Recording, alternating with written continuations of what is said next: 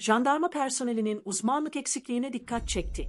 Ayrıca başta İl Jandarma Komutanı Tümgeneral Selçuk Yıldırım olmak üzere jandarma ekiplerinin sürece müdahil olmasının işleri daha karmaşık hale getirdiğini belirten Baro, Narin Güran'ın en son görüntüsünün 15.15 T alındığını fakat kolluk kuvvetleri tarafından bu kaydın tespit edilmesinin ardından kaybolma zamanının 17.40 ve sonrasına çekildiğini ifade etti.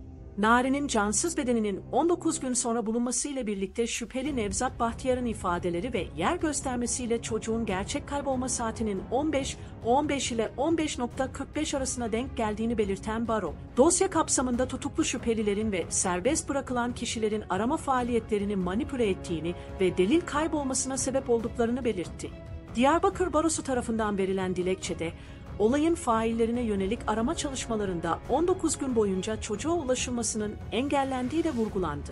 Arama çalışmalarının yetersiz olduğunu iddia eden Baro, özellikle kritik bir delilin kaybedildiğini iddia etti. Nari'nin ağabeyi Enes Güran'ın kolundaki ısırık izinin 7 gün sonra tespit edildiğini belirten Diyarbakır Barosu, aradan geçen süre zarfında DNA kalıntılarının kaybolması nedeniyle ısırın kime ait olduğunun tespit edilemediğini ifade etti. Gülben Ergen'den eviyle gündem olan Serenay Sarıkaya'ya Narin Güran tepkisi. Kayıp ilanından 19 gün sonra cesedi bir çuval içinde dere kenarında bulunan 8 yaşındaki Narin Güran cinayetiyle ilgili sıklıkla paylaşımda bulunan şarkıcı Gülben Ergen, son günlerde eviyle gündeme gelen oyuncu Serenay Sarıkaya'nın konuyla ilgili herhangi bir tepki göstermemesine tepki gösterdi.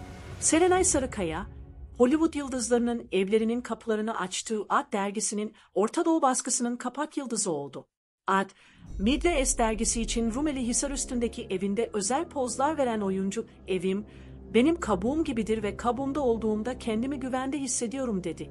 Eviyle gündem olan Serenay Sarıkaya'ya şarkıcı Gülben Ergen tepki gösterdi. Ergen, Sarıkaya'ya şu sözlerle yüklendi. Serenay Sarıkaya'nın evi çok güzel. Kendisi çok çok güzel. İşleri çok güzel. Şıklığı, duruşu, başarısı tartışmasız müthiş.